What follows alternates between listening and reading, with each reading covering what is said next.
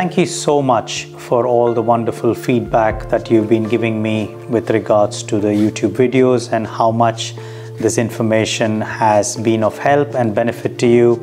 Thank you to all my followers who have engaged with me on other platforms and YouTube as well and for your comments. I thought that for the next few videos, I'll probably address some of the questions and the comments that have been made in response to a few of the videos.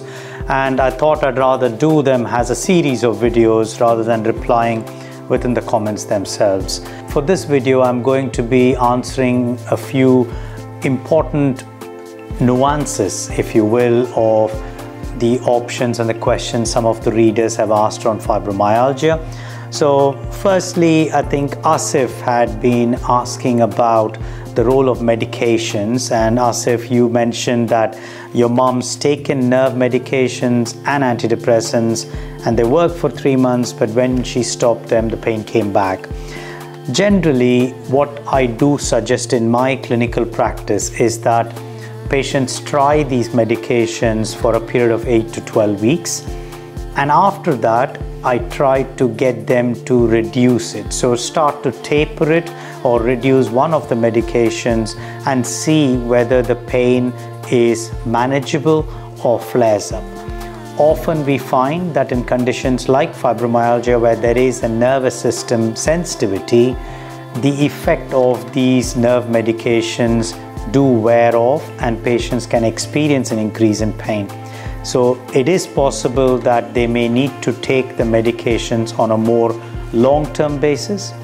But given the side effect profile of these drugs, I think every three to six months we should be making an attempt to try tapering the drugs or at least reducing it by 10 or 20% each time.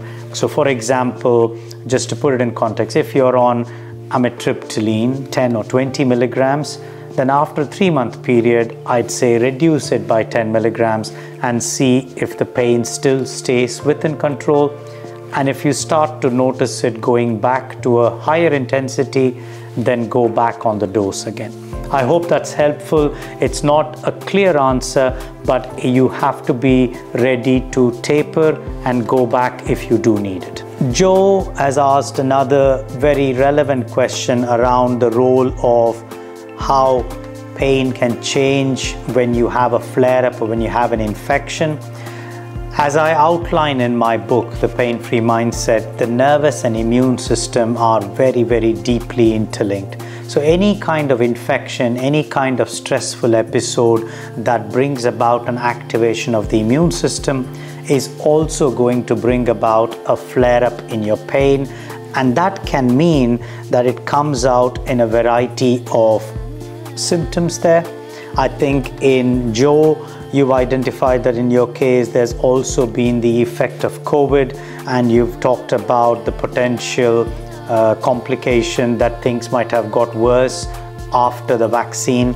I think this is a very hotly uh, debated and very controversial topic at this time whether how much of this is related to the vaccines and how much of this is a consequence of how the nervous system and immune system is being sensitized. I think there are no clear answers at this time. Uh, there's a lot of debate going on, and even in the scientific circles, we haven't come to a consensus. So I just say, watch this space, and I'll keep you informed as the evidence becomes much more clearer and we get much direction from our royal colleges or the government. And for the next set of videos, hopefully I'll be looking at a few more of your questions and hopefully I'll be able to answer them satisfactorily. But in the meantime, keep those questions coming. Thank you for engaging with the videos and I hope you found this useful. Thank you for watching this video. I hope you found the content useful and of value to you. Please don't forget to subscribe to my channel and hit the like button for more videos to be notified.